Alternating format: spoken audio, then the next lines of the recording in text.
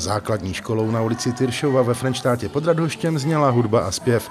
Během dne otevřených dveří, jaký tady pořádají každoročně, se i chodby proměnily v tržnici, kde děti nabízely své výrobky. Prodávám tady mídla a mafiny. O co je největší zájem? Asi tak o mafiny nebo o různé věci vyrobené a tak. Kdo tady ty výrobky dělal?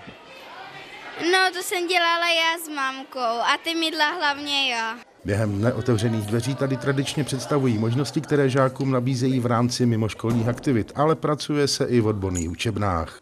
Ukážeme se na pokus o hoření hořčíku. Jsme vzali jsme hořčík, který jsme zapálili, tím vzniklo teplo, které vydávalo světlo.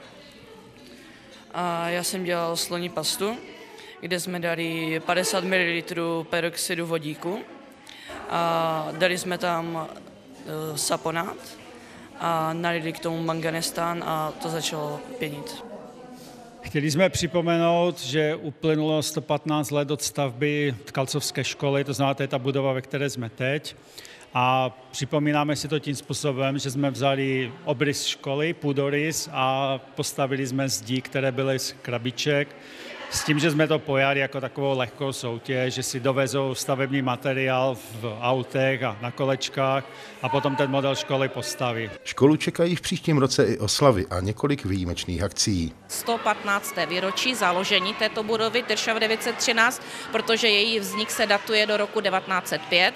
Takže k tomuto výročí samozřejmě chystáme, plánujeme řadu některých významných akcí.